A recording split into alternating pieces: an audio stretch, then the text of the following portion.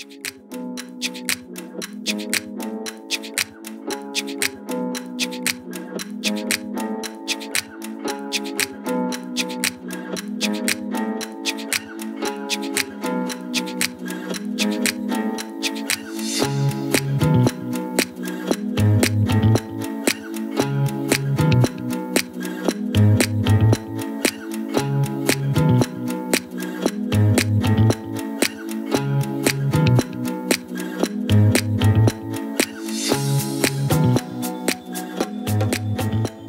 LumaFusion 3.0 stabilization, audio equalizer, adjustable UI, and editing directly from your external drive. But in today's video, we're gonna talk about stabilization and we're gonna compare LumaFusion's stabilization lock and load from CoreMelt with Premiere Pro and Final Cut Pro's stabilization as well. So we're gonna do some comparisons and then we're gonna go through the entire section of stabilization in LumaFusion so I can run you through all the different things and what they do so you can get the best result when you are using this stabilization for your video. So without further ado, let's jump over to the comparison between Final Cut Pro, LumaFusion and Premiere Pro.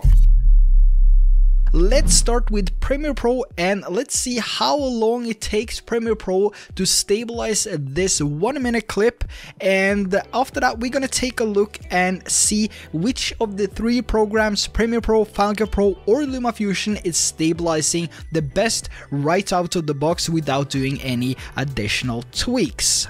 Now Premiere Pro is known to be very slow when it comes to stabilizing with the warp stabilizer, so I think we need to speed this up a little bit to get to the uh, point here or where we have the final result.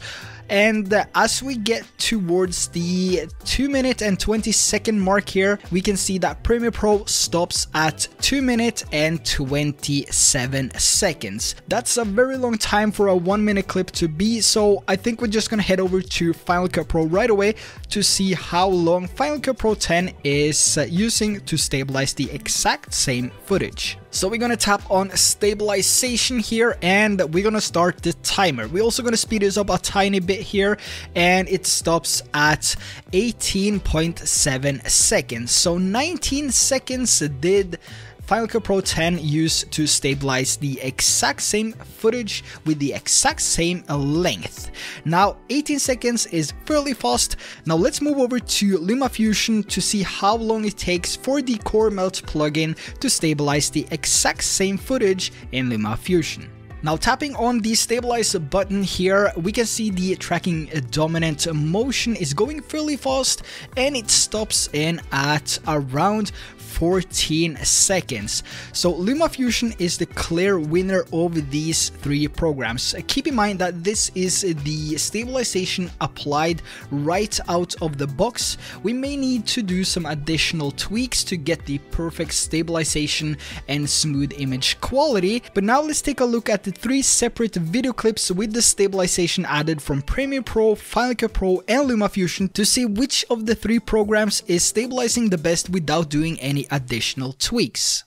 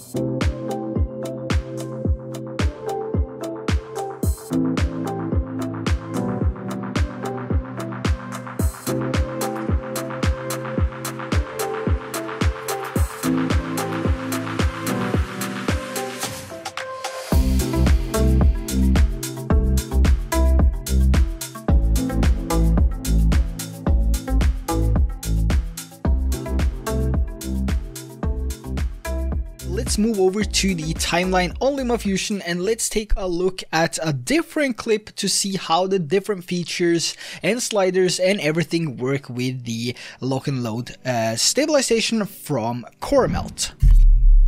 So now that we moved over to LumaFusion, I prepared three clips on the timeline, one of which is the typical vlog clip, and one which is uh, walking straight forward whilst filming to the side so we can test out the horizontal, vertical, and rotational stabilization, and the last one is one clip walking straight forward where we have the typical footsteps. And we're gonna see if we can remove most of these footsteps here to get a nice flow to the video as well. Now, moving to the first one here, let's start with this this one and I'm going to duplicate this so we have a reference that we can take a look at later on to see before and after the stabilization applied.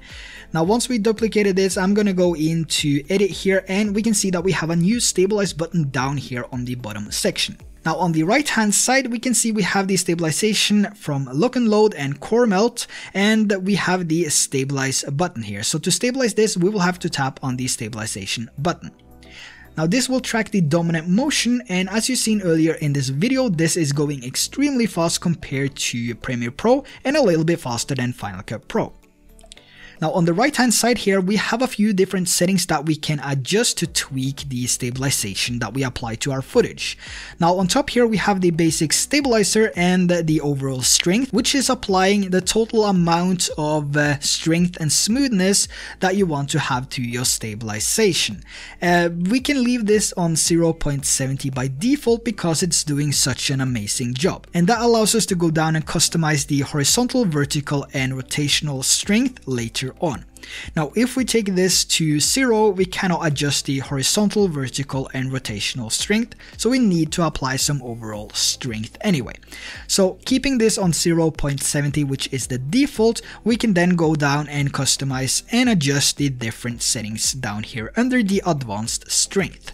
Now we can push this all the way to 0 to begin with and uh, if we go up again, we see automatic shutter correction. Now this is for rolling shutter, so if you're filming with something like the Sony a7 III, which has a rolling shutter to fast movement of the camera, then you can apply this to help correct that as well. Now if we move down here to advanced scale, you have two different scale modes, smart and fixed scaling.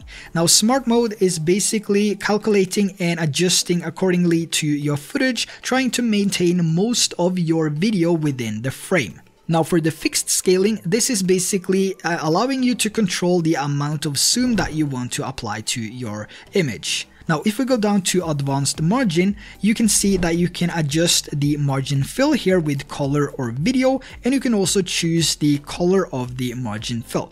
So if you want to have full control over the zoom of the uh, video and the stabilization, you can adjust this uh, by selecting fixed scale. And how this works is basically that you go and scale it down if you if you need to do that. And you can change the color to something else let's say red.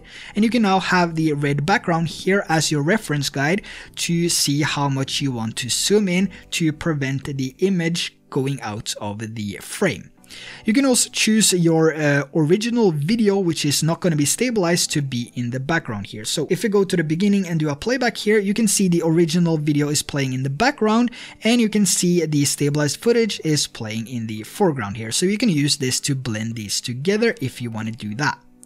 Now we're gonna go back to smart scale mode because in my opinion this works really great and I can see most people using this scale mode because it basically does everything for you. Now let's move over and just close these here and go over to the advanced strength here where we can customize and adjust the amount of stabilization that we want to apply to our clip. Now a good tip here is to go to the beginning of the video to see which axis is needing stabilization. You can see that there is some issues with the rotational and the horizontal and actually the vertical as well, which is the up and down. Now, what's good about this is that you can actually do a playback while adjusting the settings. So if we go to the beginning and tap play, we can now apply the uh, stabilization to the rotational strength here. And immediately you can see that we applied the uh, stabilization and it got a whole lot smoother. So if we go to the beginning and do a playback here and then turn the stabilization off for the rotational strength here and then turn it on, you can see the edge here is more stabilized because this is the rotation that we just stabilized. Now we can move to the beginning again and do another playback and this time we're going to take the vertical strength and pull up just a tiny bit. And you can also see that this improved everything drastically as well. And let's do the final one which is the horizontal strength here so we're going to push this a little bit up maybe the rotational a little bit down. And I think we have something right there. So if we go to the beginning, do a play, turn off the stabilizer, and then we apply the stabilizer now, you can see that we have a more stabilized and smoother clip. And the good thing here is that once you're done uh, changing the settings of the advanced strength, you can also do a final tweak here by going to the beginning, do a playback, and then you can change the overall strength here if you want to tweak it a little bit more. So I think we have the perfect result right there. So if we take a look at these side by side now, you will see that the left one is the stabilized one and the right one is the one without stabilization. Now this is directly from the previous screen and I'm going to show you the rendered version uh, soon, but let's take a look at this and let's see how it stabilizes compared to the original. And you can see how much smoother this left clip is compared compared to the right one which, which has this small shakes and wiggles going on in the background here. Now let's move over to a different clip here which is a little bit harder to stabilize and this is from the GoPro Hero 9 where all the stabilization is turned off in camera. Let's go on and duplicate this as well and we're gonna go into edit and over to the stabilize button here and we're gonna add stabilize. Now let's take a look at this just with the basic stabilization here and let's see how smooth it stabilizes. It stabilizes quite well, but you can see that we have some issues with the tree line over there and that's maybe something that we want to correct as well and you can especially see it right here. Now let's go over to the beginning again and uh, let's keep everything as it is here with the overall strength on uh, 0.70 which is the default let's go over to advanced strength and we're gonna pull the settings down here and again let's go to the beginning and do a playback here and see which of the different settings we want to correct. So rotational is definitely one and then we have the horizontal as well and the vertical just a tiny bit. So there you can see the difference between the uh, stabilized, the non-stabilized clip and the stabilized clip. Now another thing you can customize here is the zoom strength. The zoom strength is working really good if you have clips walking from side to side or you film something from side to side.